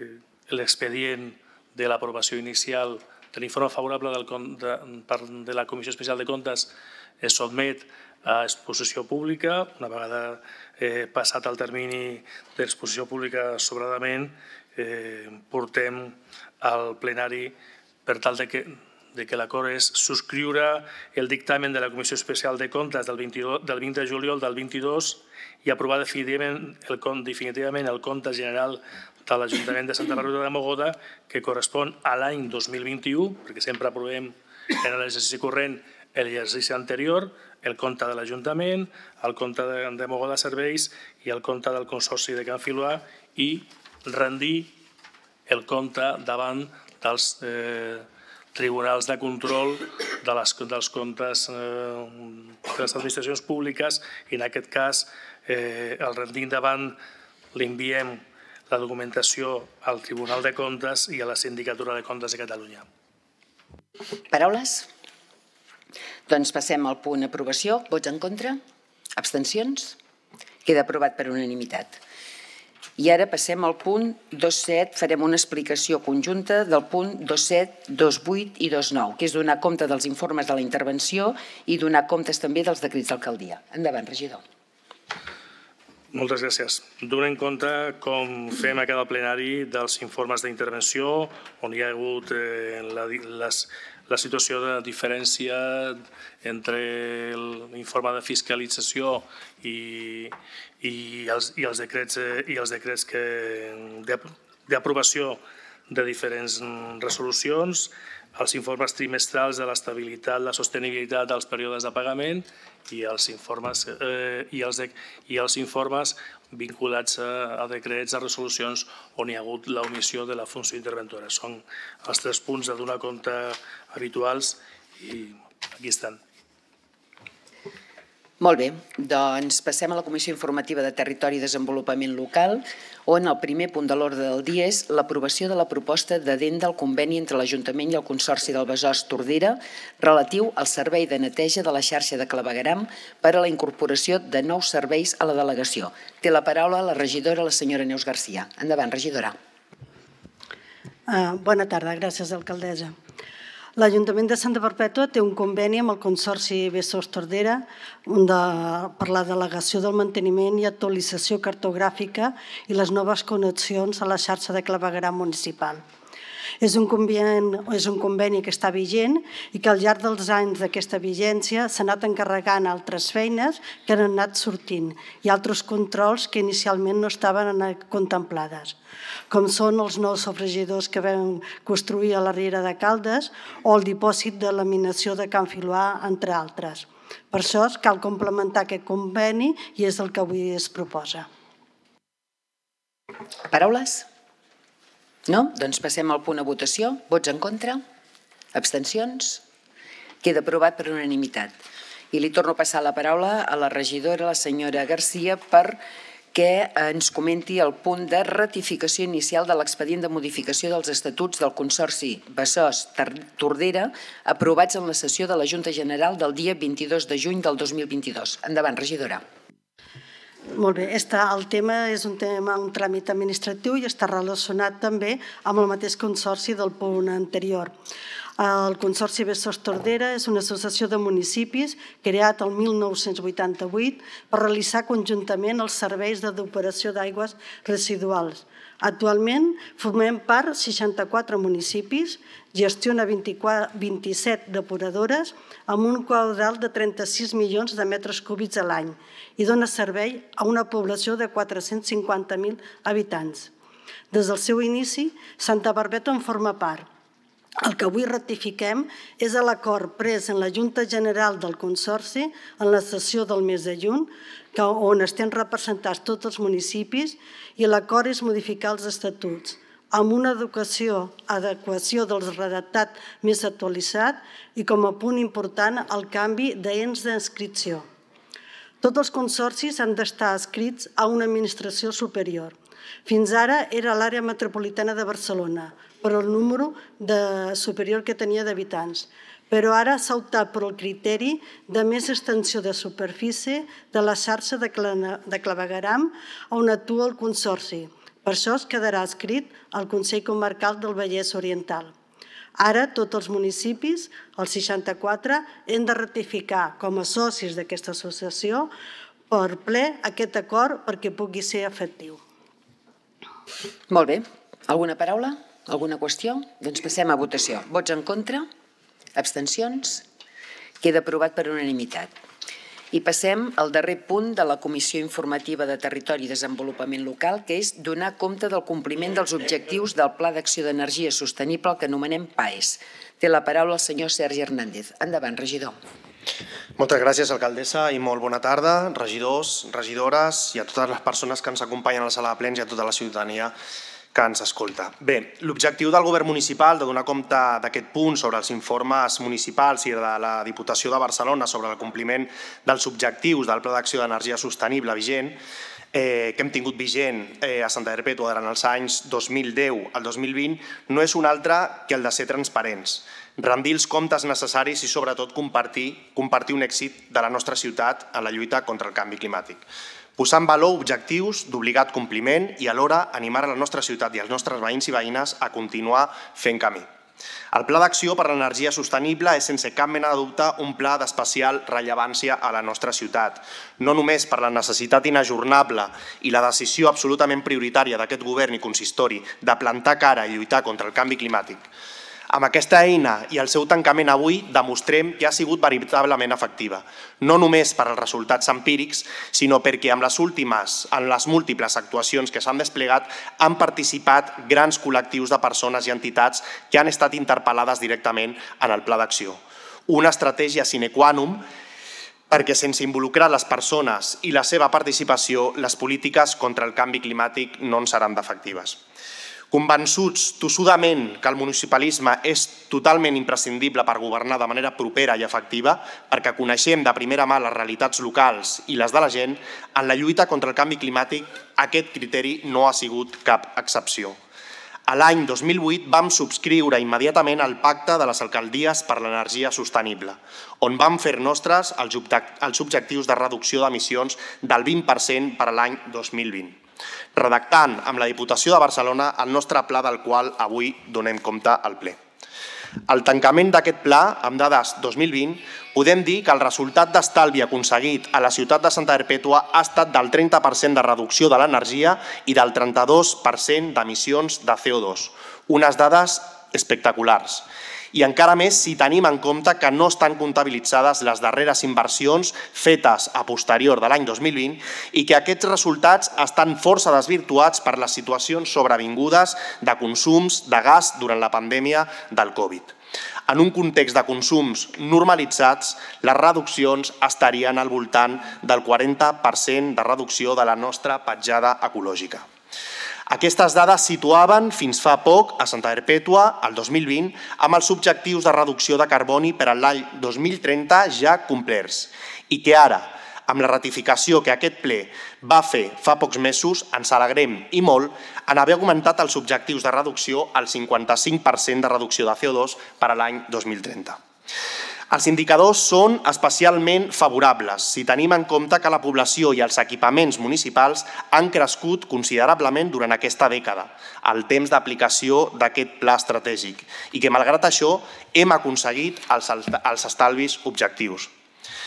Ens alegra molt poder explicar que la nostra ciutat es troba en molt bones condicions per a poder aconseguir els objectius de reducció del 55% per l'any 2030 i que aquesta situació és gràcies a la dedicació i de les accions fetes que van des de les grans inversions municipals d'aquest Ajuntament fins als nens i nenes de les escoles públiques de Santa Perpètua passant per als treballadors públics de l'Ajuntament, les empreses o les famílies perpetuenques amb accions que hem fet a les nostres llars. Unes sinergies i suma d'esforços que fan que puguem aspirar per reduir la petjada ecològica de la nostra ciutat més enllà dels objectius fixats. Tenim uns clars reptes de futur. L'emergència climàtica i les crisis energètiques ja les tenim aquí i ens calen fer grans canvis en els models de producció, distribució, mobilitat i estil de vida per poder sobreviure als efectes ambientals i socials que provocarà l'escalfament global. Per això cal implicar totes les administracions públiques i involucrar la ciutadania per a que conjuntament realitzem aquests canvis. A la nostra ciutat ja tenim definides clarament les línies de treball i el següent pas de la regidoria de Canvi Climàtic i Transició Energètica serà preparar els nous objectius del nou Pla d'Acció 2030 on volem incorporar la participació de la ciutadania i de les entitats en la seva redacció i on sumarem esforços amb la resta d'estratègies transversals de les que disposa l'Ajuntament o es troba impulsant ja, com el Pla de Mobilitat, el Pla Director d'Albert Urbà i la Biodiversitat, el Pla d'Emergència, el Pla Especial d'Emergència de Sequera, el Pla Director d'Aigua Regenerada, el Pla de Gestió de Residus, el Pla d'Acció de Millora de Qualitat de l'Aire o el propi Pla Local de Salut i, per suposat, les estratègies i accions de gran impacte municipal, com el projecte del CREVE i el seu nou servei municipal de xarxa pública d'estacions de recàrrega de vehicles elèctrics. Servei públic que vam aprovar fa un parell o tres de mesos i que ja ens dona un espectacular impacte d'estalvi de 27.000 litres de combustible en el que portem d'any. O com el nostre pla de desplegament d'instal·lacions de fotovoltaiques, que ja és una realitat i que avui ens permet estar interpel·lant directament a la ciutadania i les entitats locals per constituir en les properes setmanes les primeres comunitats energètiques d'autoconsum compartit que tindrem a Santa Perpètua. I amb les que socialitzarem i repartirem l'energia fotovoltaica produïda als equipaments públics de les escoles públiques de Santa Perpètua, amb les entitats de pares i mares de les escoles i les seves famílies Seran les primeres comunitats de moltes més que vindran en els propers mesos i amb les que volem participar conjuntament des de les associacions de veïns fins a les associacions de comerciants. I en les que el dret i la sobirania energètica serà la columna vertebral per lluitar contra el canvi climàtic i el pervers i especulatiu model del mercat energètic on les empreses exploten, ho dèiem ara fa una estona, de manera escandalosa els beneficis econòmics per sobre dels drets dels treballadors. En aquest municipi aspirem a que l'aposta per les energies renovables i les polítiques municipals que les impulsen no només aconsegueixin la neutralitat climàtica, sinó que transformin a Santa Perpètua el model energètic local. Volem aconseguir un model de sobirania energètica descentralitzada, d'energies renovables i desendollar-nos de la dependència de les empreses i l'oligarquia energètica. Volem que la propietat i la decisió estigui en mans de la nostra gent. Rendint compte en aquest ple dels resultats obtinguts i de la futura immediata estratègia municipal que ens permetrà seguir avançant amb el, amb el compliment dels objectius de reducció de CO2, volem generar el consens necessari i alhora els compromisos de totes les persones de Santa Perpètua a participar des de les possibilitats que tenim cada persona i la nostra acció personal en contribuir en aquesta lluita comuna i conjunta per cuidar i assegurar les generacions que venen la vida al nostre racó del planeta. Moltes gràcies. Moltes gràcies, regidor. Paraules? Doncs passem al punt de votació. Vots en contra? Perdó, és donar compte. Sí. Molt bé, doncs passem a la darrera comissió, la de Ciutadania i Serveis a les Persones, on el primer punt de l'ordre del dia és l'aprovació del primer Pla Local de Diversitat Afectiva, Sexual i de Gènere 2022-2026. La regidora té la paraula. Endavant. Moltes gràcies, alcaldessa. Molt bona tarda, molt, molt bon vespre a tothom. Eh, vull començar la meva intervenció donar-li les gràcies als veritables protagonismes eh, per col·laborar amb la Regidoria d'Igualtat i Drets Civils en la creació d'aquest pla, les persones del col·lectiu LGTBI de Santa Perpètua, que amb la seva aportació hem pogut fer un primer pla aproximant-nos el més possible a la realitat. Moltes gràcies. Aquest pla és vostre, aquest pla és de tothom. Us, passaré, us posaré una mica al dia del camí que des de regidoria, regidoria hem portat eh, per poder arribar on estem ara. El 2015, quan vaig assumir el repte de portar la regidoria d'Igualtat, vaig veure que encara que eh, per la part del CIAT a Santa Perpètua, com a tot arreu, quedava feina per fer.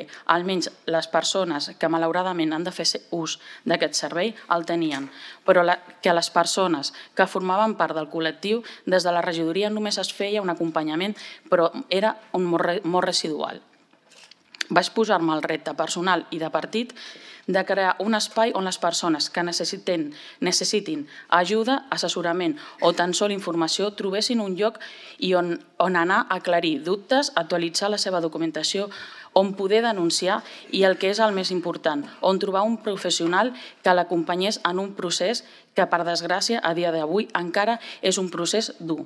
Per molt que nosaltres, el, el nostre lema ha estat des de llavors estima com vulguis. Entre el 2017 i 2018 van crear l'oficina per atendre a les persones del col·lectiu LGTBI en col·laboració de l'Observatori contra l'Homofòbia on hem derivat i ens han assessorat dels casos que ens anaven arribant. Mesos més tard, per fi, van signar el conveni per estar a la xarxa municipal LGTBI amb la Generalitat i, en, i van començar a ampliar també els dies commemoratius però des de la regidoria tenien clar que aquest no era el final, havien de donar un pas més. I era recollir en un pla les necessitats i possibles solucions d'una part de la nostra ciutadania, perquè d'això va la igualtat. I aquest govern ho tenia clar.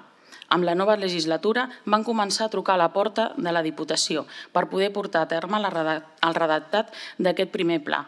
I en plena pandèmia ens va arribar la bona notícia tot just fa un any, van mantenir la primera reunió entre Diputació, Ajuntament i Diversitat, l'entitat que ens ha ajudat des de la Diputació a fer el redactat. Han estat mesos de molta feina.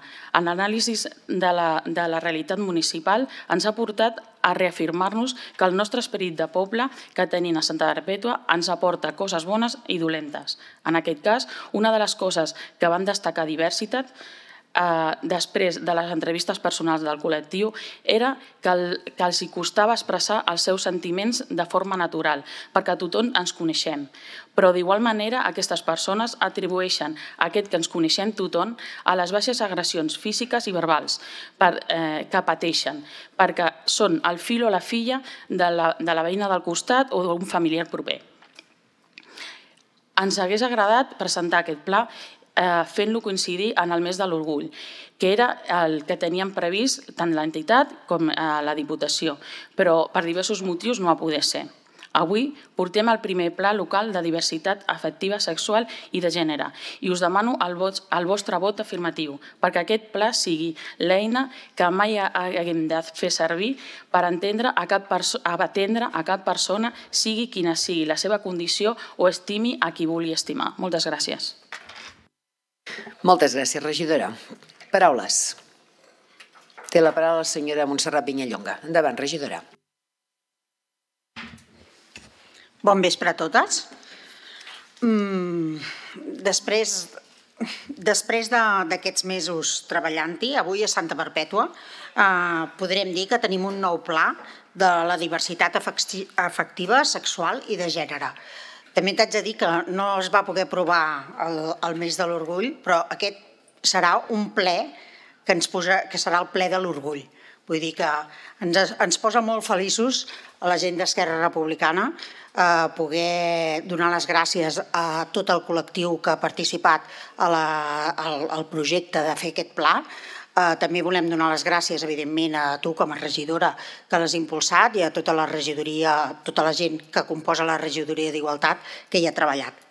Eh, dit això, veiem, mm, és un pla molt realista. Eh, convido a, a la gent a llegir-lo, perquè només llegint-lo aprenem molt. És un pla realista, explica els punts forts, els punts que a Santa Barpeto ja s'han treballat, que com tu es expliques ja, però tot això també sense oblidar que són granets de sorra i, i sense uh, deixar i, ni amagar les coses que podem fer, les coses que hem de millorar, les coses que, que perquè el col·lectiu, perquè tots en de perpètua siguem lliures i, i puguem viure i estimar de ple dret, doncs eh, necessitem millorar. I les ha deixat molt clares, que és la manera de que els plans siguin efectius.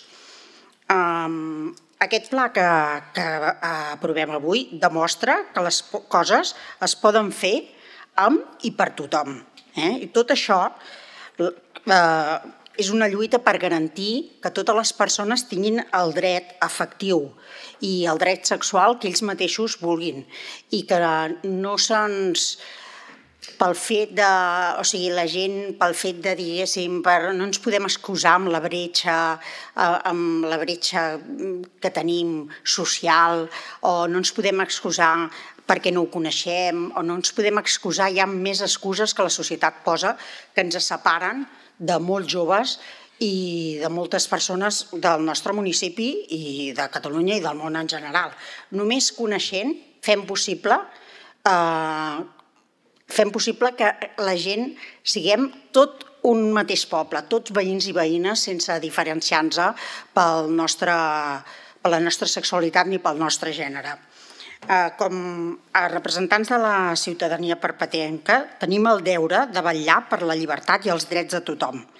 També està al costat de totes aquestes persones que puguin patir o han patit qualsevol mena de discriminació o violència tenim el deure d'oferir una, una programació educativa sexual i integral, una educació que vetlli per la igualtat en, i l'educació amb la diversitat. Aprovem un pla que no es pot quedar senzillament que sigui el manual, el, el pla perquè sí, perquè l'ha de tenir aquest municipi.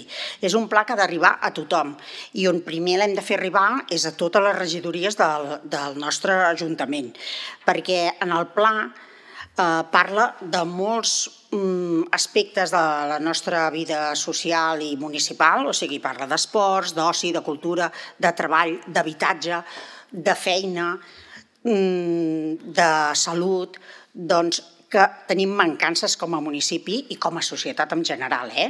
Nosaltres, el, el, lo important és començar per la casa petitona i extendre-ho a això i no, no, no ens podem quedar amb les grans referències si no posem les pedres i la feina en el nostre municipi. Per això és importantíssim aquest, aquest, eh, el to que té aquest pla, que, que és un to d'optimisme, un to d'esperança, un to de ganes de treballar. I a més a més amb uns quadres que convido a llegir-ho que si, si som capaços de complir-los, si som capaços de complir-los i amb això també eh, m'agradaria demanar que com a grup municipal ens agradaria formar part de, de l'equip que es dedicarà a, a, a veure el cronograma o sigui, les accions que heu planejat i que hi ha un cronograma, un calendari que es desenvoluparan, doncs ens agradaria formar part o que la regidora ens donés explicacions de com es van eh, desenvolupant totes aquestes accions, perquè ens és important i la feina ha de començar des d'allà. Jo només volia explicar que les persones que es llegeixin el, el pla, que ja eh, reitero que convido a llegir-lo, eh, només hem de pensar que en els equipaments municipals, eh, a qualsevol equipament municipal, els lavabos, els vestuaris. Eh, de moment, tots, tot això sempre està... Eh, o sigui, home o dona. A moltes caselles s'han de posar això, home o dona. No, o desapareixen les caselles o desapareix la rotulació o si no hem de posar home, dona i altres caselles perquè cada un tingui la seva representació social. Amb cada paper, amb cada qüestionari que fem, hem de pensar que tothom ha de ser inclòs, hem de ser inclusiu i això ens, eh, és una feina que hem de fer entre tots i totes, perquè si no, no ho aconseguirem. Eh, només això, encoratjar-nos a seguir treballant per, per la igualtat, que si, si aquesta paraula l'entenguéssim així, eh, amb totes les seves lletres i amb tota la, no hauríem d'anar parlant de cada de que si ara per igualtat per les dones, per la igualtat per sexual i de gènere, per, però com que desafortunadament no és així, hem d'anar fent aquests plans, ens hem de conèixer totes i totes i, i ens hem d'obrir eh, ens hem d'obrir aquests joves que moltes vegades tenen molt explicant-nos sobre, sobre el gènere que, que la nostra societat a vegades no els vol entendre. I hem de pensar que actualment un de cada quatre joves no se sent identificat ni amb el sexe home ni amb el sexe dona. Un de cada quatre joves. Vull dir que ho tenim aquí i ens arremenguem i ho entenem, o cada vegada la bretxa entre, entre uns i els altres serà més gran. Uh, agrair que, que hagi sortit aquest pla i seguir treballant per enderrocar murs. Endavant. Gràcies, regidora. Endavant. La ponent té la paraula només donar les gràcies per la teva intervenció, Montse.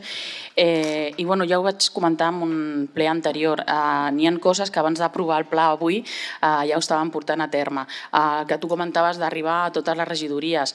Hem fet formació abans d'aprovar el pla perquè era una de les coses que entre la Diputació i l'entitat ens demanaven de eh, no podem fer un pla ni, ni tirar el pla endavant si tot el personal no està, o la major part del, del personal no està format, sobretot els que tenen eh, directament l'atenció al públic. No?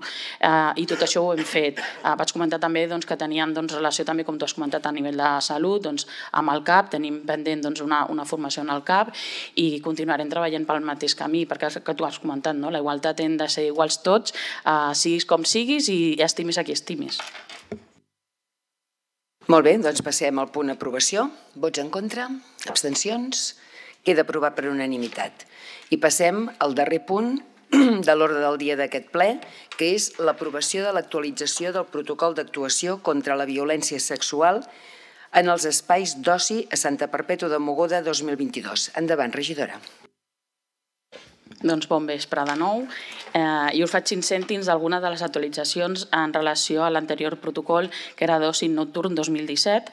Eh, tenim aquest canvi de denominació, que ja, ja no fa referència a nocturn, sinó que és d'oci en general, actualització i adequació del llenguatge i de la terminologia, una mirada cap a la diversitat afectiva, sexual i de gènere, que encara que a la pràctica eh, ja es tenia en compte a l'hora d'atendre si hi havia algun eh, tipus de, doncs, de violència cap a una persona doncs, al col·lectiu, doncs, es tenia en compte encara que no estava redactat dins del protocol i ara sí que serà a dins del protocol, i ampliació dels espais com Can Bernades i, activitats, eh, i altres activitats i espais d'oci del municipi.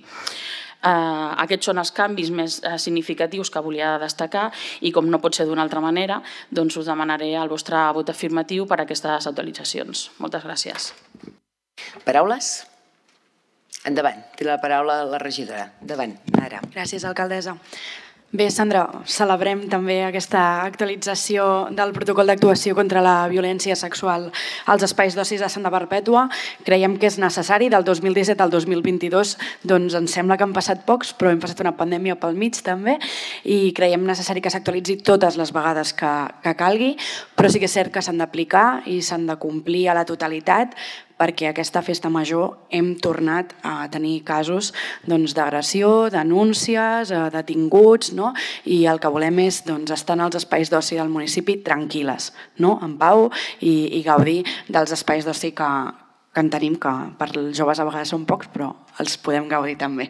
Doncs d'aquesta banda, eh, la inversió en formació eh, creiem que és més que necessària en tots els àmbits i tocant absolutament totes les tecles que passin per aquest protocol i totes les persones que treballin de la casa o que, o que hi estiguin implicades tinguin la formació adient doncs, per garantir la tranquil·litat i la seguretat de, de la ciutadania. I creiem que doncs, eh, que ens actualitzem i que ens formem en aquests àmbits eh, són inversions en, en la nostra seguretat i en la nostra tranquil·litat. Per això us avanço ja que tindreu el nostre vot a favor. Endavant, regidora. Moltes gràcies, Nara. Uh, bueno, Dir-vos que això, aquestes actualitzacions també uh, van acompanyades de formació al, al personal, o sigui, no pot ser d'una altra manera. Moltes gràcies. Molt bé, doncs passem al punt d'aprovació. Vots a, en contra? Abstencions? Doncs queda aprovat per unanimitat. Passem a, a proposicions dels grups municipals. En tenim dues. La primera és la proposició que presenten els grups municipals de Santa Perpètua en Comú, Grup Republicà, Partit dels Socialistes i Ciutadans, en relació a l'AP7. El secretari farà la lectura dels acords. Endavant. Primero, instar al Ministerio de Transportes, Movilidad y Agenda Urbana y al Gobierno de la Generalitat de Cataluña a acelerar las actuaciones para mejorar la funcionalidad y accesibilidad de la AP7 y la AP2. Segundo, instar a los gobiernos del Estado de Cataluña a planificar las inversiones en la red viaria pensando en un modelo de movilidad que priorice de manera clara el transporte de pasajeros y mercaderías por ferrocarril. Tercero, instar al Govern de la Generalitat a diseñar un plan integral para abordar los colapsos en la autopista P7. Cuarto, instar al Govern de la Generalitat a levantar barreras de sus peajes en los túneles de Vallvidrera y de la C16 para equilibrar flujos cuando la C58 y la P7 superen su capacidad. Quinto, instar al Govern de la Generalitat a fomentar la construcción de aparcamientos Park and Ride junto a, las junto a las estaciones de ferrocarril y de autobuses interurbanos, dando prioridad a los que descongestionarían la AP7. Sexto, instar al Gobierno de la Generalitat, como titular de las competencias de cercanías desde 2010, a diseñar un plan integral de mejora de cercanías que A. incremente las frecuencias de paso, B. fomente la intermodalidad con otras formas de transporte público con la puesta en, en servicio de la T-movilidad, y C. Promueva la captación de nuevos usuarios para el transporte público. Séptimo, instar al Ministerio de Transportes, Movilidad y Agenda Urbana que extienda la red ferroviaria con la construcción de la línea orbital del Vallès. Octavo, instar al Gobierno de la Generalitat a estudiar la mejora de los accesos a la C33 y a la C17 desde la C59 para solventar el efecto embudo que se produce actualmente. Noveno, instar al Gobierno de la Generalitat a valorar también criterios medioambientales de contaminación atmosférica y no solo de regulación del tránsito a la hora de reducir la velocidad en la AP7, solicitando, por tanto, una reducción a 100 km hora en la totalidad del tramo San Cugat-Mollet, tal y como el Ayuntamiento de Santa Perpetua ha defendido en el Plan Específico de Movilidad del Vallés y el Plan de Mejora de la Calidad del Aire del Vallés Occidental. Décimo, instar al Gobierno de la Generalitat a instalar paneles sonoros para reducir la contaminación acústica en la AP7 a su paso por Santa Perpetua. Y onceavo, instar al Ministerio de Transportes, Movilidad y Agenda Urbana y a la Generalitat de Cataluña para que realicen las inversiones necesarias que eviten el tráfico de vehículos pesados por las vías del casco urbano de Santa Perpetua en su conexión con los polígonos industriales. Molt bé, secretari, moltes gràcies. I passem a la segona proposició que presenten els grups municipals de Santa Perpètua en Comú, Grup Republicà, Partit dels Socialistes i Ciutadans per exigir inversions pendents i millores al sistema de rodalies de Catalunya. Endavant, secretari. Primer, exigir al Govern de l'Estat i de la Generalitat de Catalunya l'execució urgent de la inversió infraestructural pendent a tot el sistema ferroviari català per assolir una xarxa de qualitat complint els terminis del Pla de Rodalies i afegint-hi les millores necessàries per incrementar la capacitat i seguretat de la xarxa, millorar la integració urbana, renovar el parc mòbil, augmentar l'accessibilitat, adequar estacions i, en general, totes les eines d'atenció a l'usuari. Segon, instar totes les administracions a treballar en la línia dels objectius de desenvolupament sostenible 2030 i de la mitigació dels efectes del canvi climàtic amb accions per incrementar l'ús del tren en detriment del vehicle privat.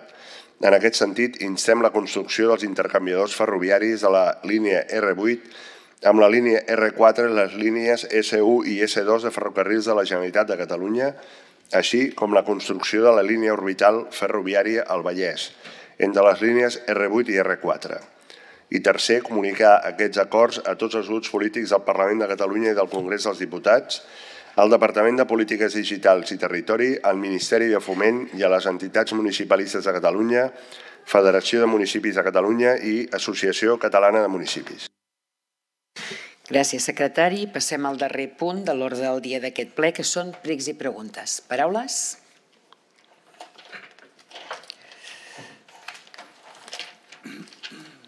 Té la paraula el senyor Suárez. Endavant.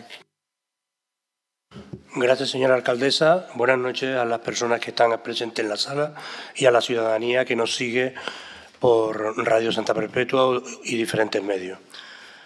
El grupo de ciudadanos esta noche quiere hacer una pregunta al equipo de gobierno. En concreto, con el tema plagas, hablamos concretamente del tema que estamos bastante afectados con el tema de, de plagas de rata. Sabemos que es un tema que no es nuevo, sabemos que es un tema que está dando faena, sabemos que el equipo de gobierno es consciente y nuestra pregunta concretamente es saber las actuaciones que se han hecho y las que el equipo de gobierno tiene planteado hacer, porque al parecer, de momento, los resultados no son los que todos querríamos. Gràcies. Gràcies, regidor. Té la paraula el senyor Albert Bonàs. Endavant, regidor. Gràcies, alcaldessa. Bon vespre a tothom.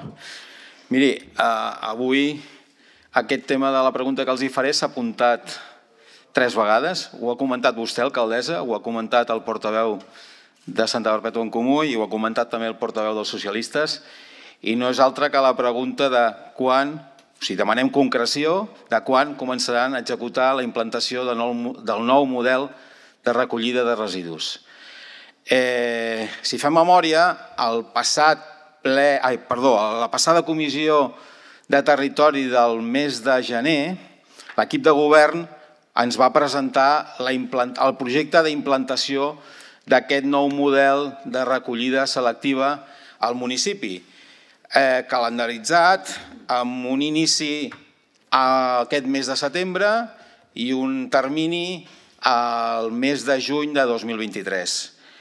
Eh, en aquell moment, el nostre grup municipal va prendre la paraula i va assegurar que si es complien aquests terminis seria la millor notícia d'aquesta legislatura. I ho anem repetir, seria la millor notícia d'aquesta legislatura. Alcaldessa, estem a finals de setembre i voldríem demanar concreció, perquè és un tema, com aquí s'ha comentat, molt important i que per posar algunes dades que, que es deia en aquell moment, no? a tall molt ràpid, eh, inclouria aquest projecte el tancament de 212 contenidors del forn, 441 de la resta, 18.000 targetes domiciliàries, més 700 targetes comercials i una app a la ciutadania bidireccional amb l'Ajuntament. Eh, bé, l'única pregunta que volem fer és aquell calendari es continua, eh, concretem, si plau, quan començarà a implementar-se aquest nou model de recollida que vostès van decidir que era la de tancament de contenidors i identificació dels usuaris. Perdó, per les fraccions de resta i orgànica només. Moltes gràcies. Té la paraula la senyora Sandra Gómez. Endavant, regidora. Bon vespre. Eh, doncs només dir-te que, que hem intensificat eh, les accions dins de tot el municipi perquè malauradament doncs, amb el tema de, de la pandèmia ja ens van avisar a principi d'any que hauria més plagues, no només de rates, sinó de, de tot el que pugui haver-hi plaga i amb això estem, estem a sobre. Hem tingut que ampliar una miqueta el pressupost precisament doncs, per, per això, per, perquè les, les vegades que ens han, han trucat i els que ens queden per davant no t'ho sé dir, perquè malauradament ens quedaran moltes perquè ens, ens cridaran i cada vegada que un veí ens, ens digui que té una plaga de rates, allà hi serem eh, el més ràpid que, que puguem i que l'empresa pugui arribar i dins del pressupost que en tenim. Per afegir a regidor, s'estan utilitzant sistemes que no els havíem utilitzat mai, eh, senyor Suárez eh, es feien les plagues habituals, es, es reforçava en aquells moments que hi havia doncs, una plaga més extensa de lo, de lo normal i amb aquest, des de fa un temps cap aquí, estem posant altres mecanismes al llarg del municipi perquè per molts mitjans de comunicació ha sortit doncs, que era un any de molta plaga, no només de rates, sinó avui mateix rebia informació que també hi ha una reunió prevista pel tema dels mosquits, que també estan havent-hi unes plagues molt grans i hem d'anar posant mesures i hem ens hem d'anar reinventant perquè alguns dels models que estàvem utilitzant fins, als, fins al moment no ens serveixen. Per tant, haurem de veure com podem eh, aplacar aquestes plagues doncs, i veure quines són les millors maneres. De totes maneres, com ha comentat la regidora, tots els mecanismes que estan a la nostra mà es, es duen a terme per intentar de mitigar el màxim possible. Tot i així, estarem al cas i qualsevol altra eh, eina que pugui sortir, qualsevol altre sistema, evidentment que eh, ho implantarem al nostre municipi. I li passo la paraula al regidor de Medi Ambient, el Joan, per tal de que dongui resposta al senyor Bonàs. Endavant, regidor. Gràcies, alcaldessa. Bé, bona tarda. Bé, abans de començar a respondre-li, doncs, eh, dir-li que o recordar a la ciutadania que el fet de reciclar, no, de portar els envasos on toca, el vidre, el paper i el cartró, al nostre municipi té uns ingressos, eh? mentre que qualsevol bossa que diposita a la, a la fracció resta ens costa molts diners. Càlcul que vam fer fa un parell d'anys parlava de 250 euros per tona.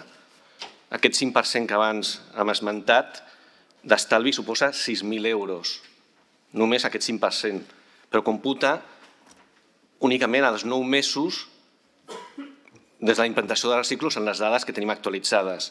Si fem al llarg del temps, hi ha hagut un increment del 18% en envasos, prou significatiu. També hem esmentat no? que hem fet una inversió, hem incrementat el nombre de contenidors de tèxtil i això ha suposat un increment del 37% en els dos darrers anys.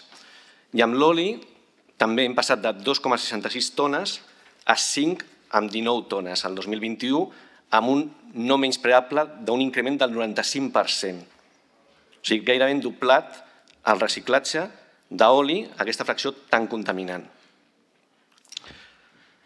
Eh, bueno, tenim les eines, el ciutadà ho té molt fàcil, té totes les fraccions al carrer, només has, ha de fer aquest, aquest petit exercici de conscienciació, ja només mediambiental, sinó a més econòmica, perquè de forma indirecta se li retallen recursos cada vegada que diposita tot en el rebuig. Amb aquesta línia de millora, nosaltres, de ràpid de reciclatge, nosaltres vam, ens vam apuntar a, través de, del foment de la recollida selectiva de residus municipals per part de l'Agència de Residus de Catalunya, ajudes vinculades al Next Generations, que el PSOE va obtenir per Espanya en l'àmbit de la Unió Europea i on Santa Perpètua ens hem vist la més beneficiada, abans ho comentaven, amb més de mig milió d'euros. Aquestes ajudes que l'Agència de Residus de Catalunya ens havia d'haver donat amb aquella candelització que nosaltres li vam, ens, ens ho van creure i van facilitar en aquí a l'Ajuntament, doncs ha tingut un retard. Ha tingut un retard. I ha estat aquest mes quan ens hem, han, han fet aquesta ajuda de forma definitiva. Per tant, aquest calendari que li van presentar, degut a aquest retard de l'Agència de Residus, doncs l'hem de retrasar. La propera setmana tenim reunió nosaltres amb el Consorci de Residus per veure com comencem a implantar-ho i també a final de mes ens desplaçarem a Tarragona, on també tenen una implantació molt similar com vam fer fa mesos anteriors al model, amb el model de recollida a Girona. I a partir d'aquí, doncs, un cop aquests ajuts ja sigui de forma definitiva, podem iniciar el procés d'implantació d'un model que sigui no només de recollida en tancament, sinó també el que comentava el seu company, en Pol, de taxa justa. De taxa justa. No és normal, no? Pues no, no és just que una persona, una família, millor de quatre membres, que fa un esforç que separa diàriament les seves bosses, hagi de pagar el mateix que una família que tant se li, tant se li dona. O una família que telefona i diu, avui, quan li va bé que baixem els nostres trastos al carrer, d'un altre que abandona aquests trastos al mig del carrer i que suposa un sobrecost excessiu.